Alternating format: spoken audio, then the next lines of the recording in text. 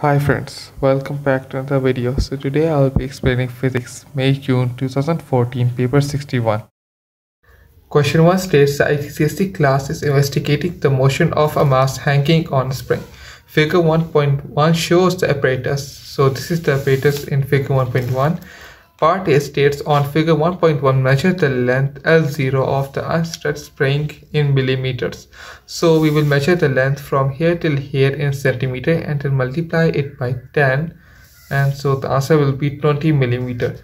Then part B states the diagram is shown is drawn one tenth of actual size. Write down the actual length L0 of the unstretched spring in millimeters so this is drawn on one tenth of the actual size. So we will write 20 multiplied by 10 which will be 200 millimeters. So we will write 200 millimeter 200 over here. A student hangs 300 gram mass on the spring and measure the new length L of the spring calculate the extension uh, E of the spring using the equation E is equal to L minus L0.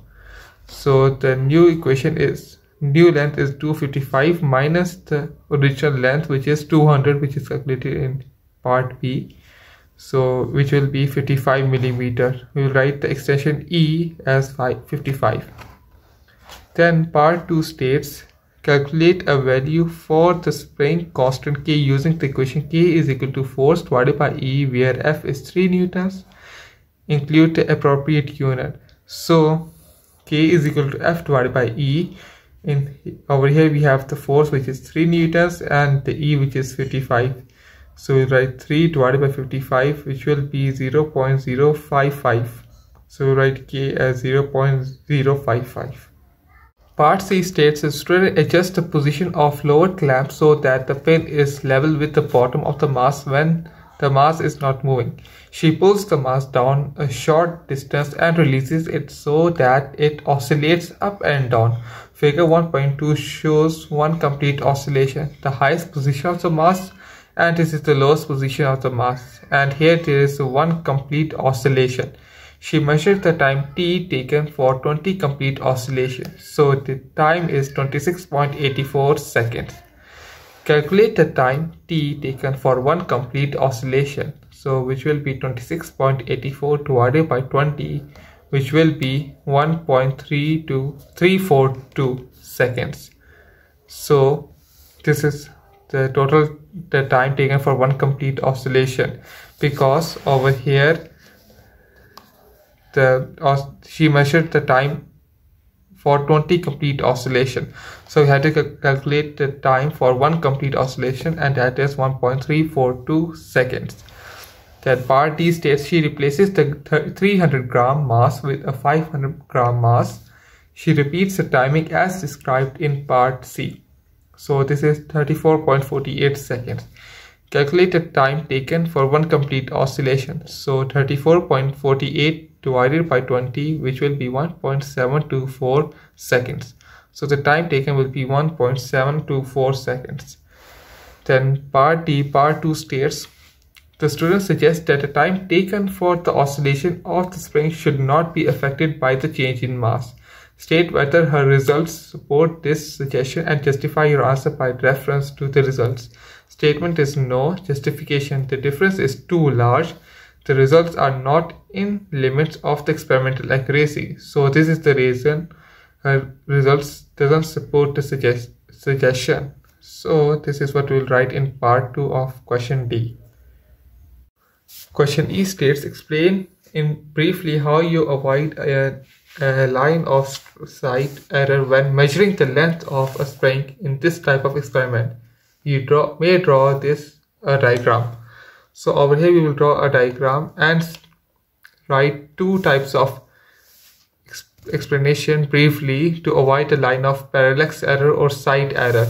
So the first one is rule touching or very close to the spring and second is perpendicular viewing of the spring or the scale. You must you must look at a ruler or measure the read the length at perpendicular line not from here or from here. You must view it from right at 90 degree angle which is like this. So this will reduce the parallax error and second is the rule touching or very close to spring. So you must keep it very close to spring to measure the length and this will reduce the parallax error. Question 2 states a student carries out an experiment to compare how quickly thermal energy is conducted along rods made from different metals. Each rod is heated at one end with a Bunsen burner flame. Each rod carries a marker held on the rod with a little wax. When the wax melts, the marker falls. Part A states one other piece of equipment is required to compare how quickly the thermal energy is conducted. Name the piece of equipment. So that will be the stopwatch. Part B states suggest three possible variables that the student should keep constant in order to make the fair comparison between the different metals. First one will be the length of the rod, second is the am amount of wax, and third is the mass of the marker. Then part C states another student suggests that it would be helpful to measure the temperature at both ends of the rod. He suggests using a liquid in glass thermometer normally used for, for measuring the temperature of the hot water. So just two reasons why a liquid in glass thermometer is not suitable. First is thermometer can't make a proper contact with the rod and second is it has a small range. So these are the two reasons why liquid in glass thermometer is not suitable. The IGCSE class is investigating the cooling of a thermometer bulb under different conditions. A student places a thermometer in a glass beaker of hot water as shown in figure 3.1. So here we have the thermometer in water and in figure 3.2 we have a thermometer. Then part A states write down the temperature costa H of the hot water as shown in the thermometer in figure 3.2. So costa H we will measure the length of measure the temperature of the shown at the thermometer which is 92 degrees Celsius and we write 92 degrees Celsius at QH or costa H. Then part B states a student removes the thermometer from the beaker of water. He immediately starts a stop clock. He records the temperature costa every 30 seconds. The readings are shown in table 3.1. Then over here he replaces the thermometer in the beaker of hot water and records the temperature. He removes the thermometer from the beaker of hot water and places it in a beaker containing only dry cotton wool. The temperature, the thermometer bulb is completely surrounded by cotton wool. He immediately starts a cl stop clock and records temperature costa every 30 seconds. The readings are shown in table 3.1. Part 1 states complete the column headings in the table. So over here first time is usually measured in seconds. Then costa which is a change in temperature is always measured in degrees Celsius. And in with insulation the cost is also measured in degrees Celsius. So first is seconds, second is degrees Celsius, third is degrees Celsius. Then part 2 states state whether the cotton wool insulation increases, decreases or has no significant effect on the rate of cooling of thermometer bulb. Compare compared with the rate of cooling with no insulation. Justify your answer by reference to the results.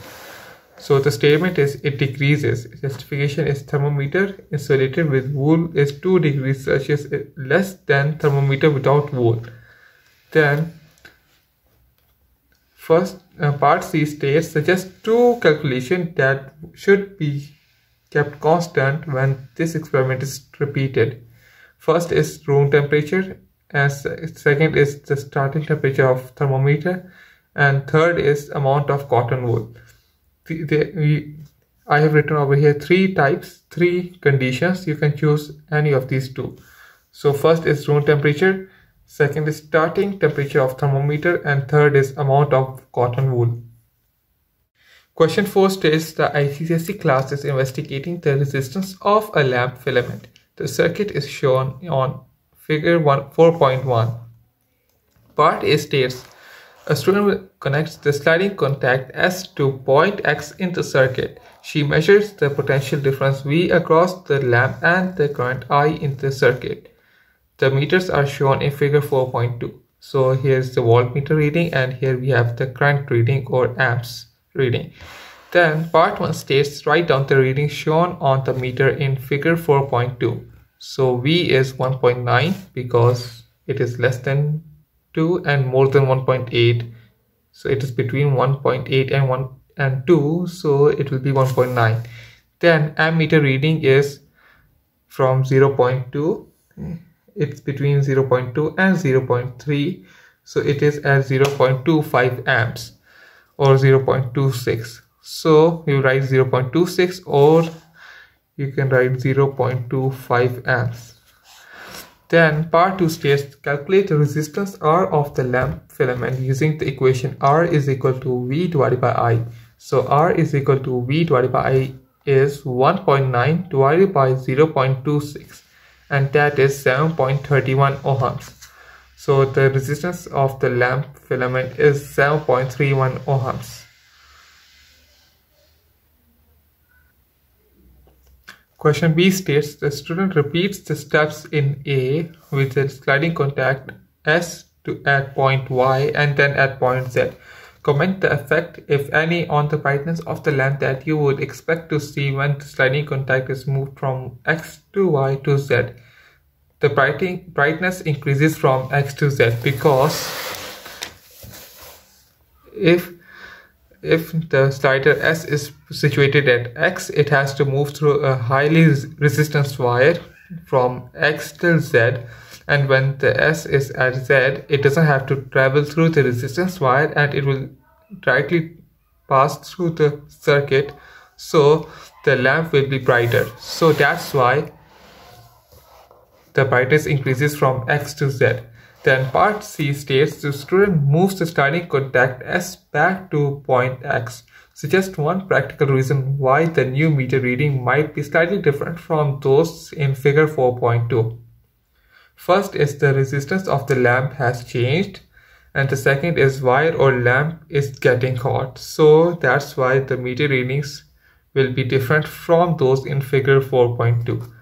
Then question D states Another student carries out the experiment using a different lamp. He takes readings using various lengths of resistance wire in the circuit. He plots a graph of V of volts against I amps.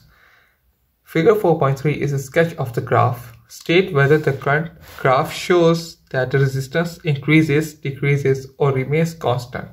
As the current increases, justify your conclusion by reference to the graph the resistance increases and the justification is voltage increases more quickly than current. So this will be the final answer for question D.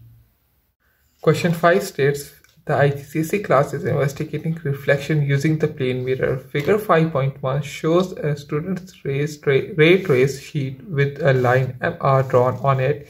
In the experiment, the reflecting face of a mirror is placed vertically on the line MR the additional dashed line shows a second mirror position. So this is the figure of figure 5.1. Part A states NL is a normal line, normal to line MR. Draw a line 8 cm long from B at an angle of incidence I is equal to 30 degrees to the normal below MR and to the left of the normal label the end of this line A. So we have to draw a line of 8 centimeter at the incidence of 30 degrees so we will measure 30 degrees over here and draw a straight line of 8 centimeter till point A and mark the end of this line as point A and we will mark here as the point where the reflection is made then part B states the student places two pins P1 and P2 on the line AB, a suitable distance apart from this ray tracing experiment.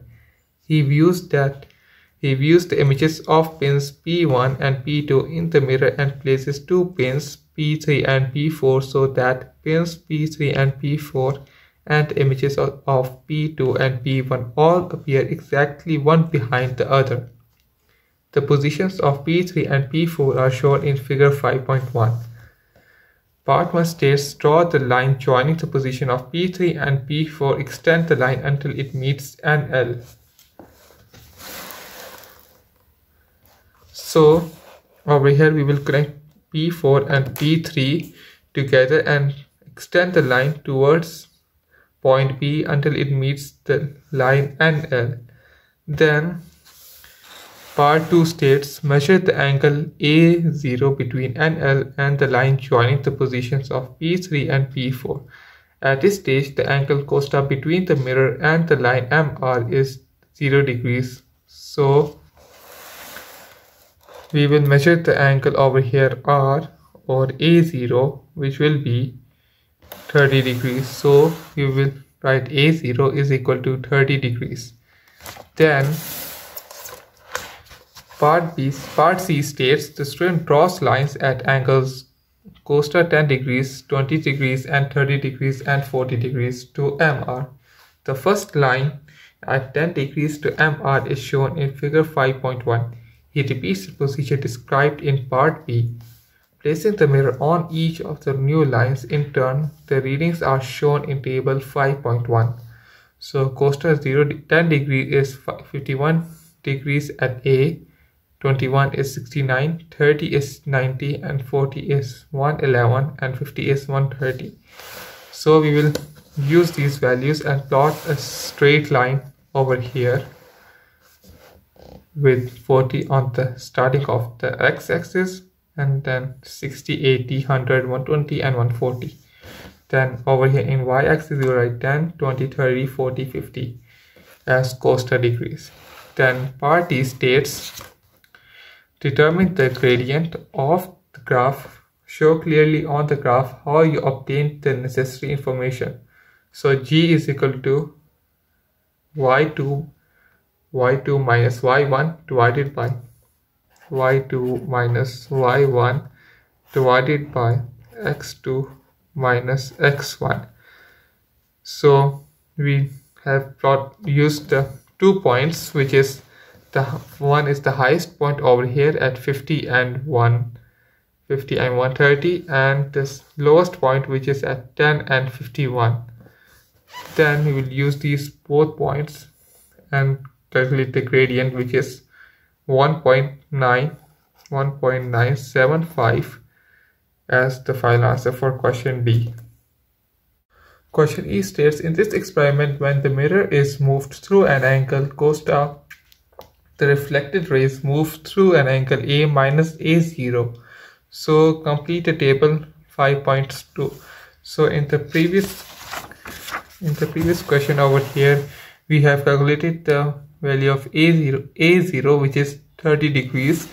So we will use that value to calculate the a minus a0 so a is 51 minus a0 which is 30 which will be 21 then 69 minus 20, 30 which will be 39 then 90 minus 30 will be 60 then 100, 111 minus 30 will be 81 and then 130 minus 30 will be 100 then part 2 states suggests the relationship between a minus a0 and costa. You may express the relationship in words or as an equation. So a minus a0 is almost double the costa. So we will write this as the final answer for part 2.